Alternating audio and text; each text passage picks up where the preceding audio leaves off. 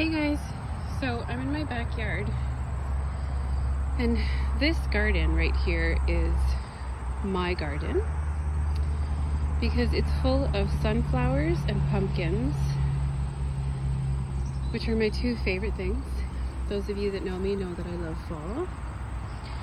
This is my very first sunflower. And I think it's beautiful.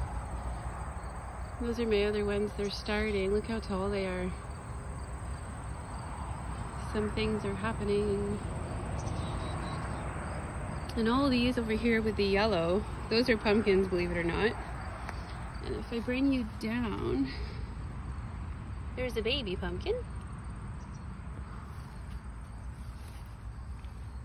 And then here is another one.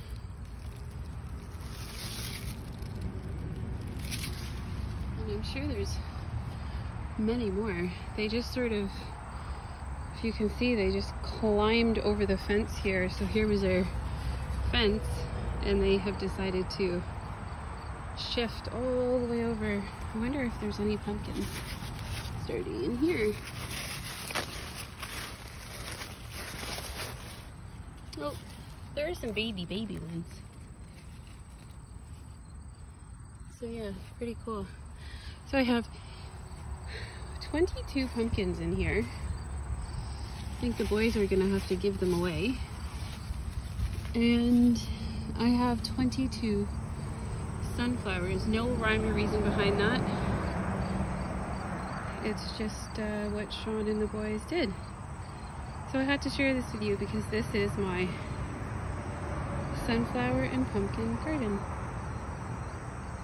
Pretty jazzed.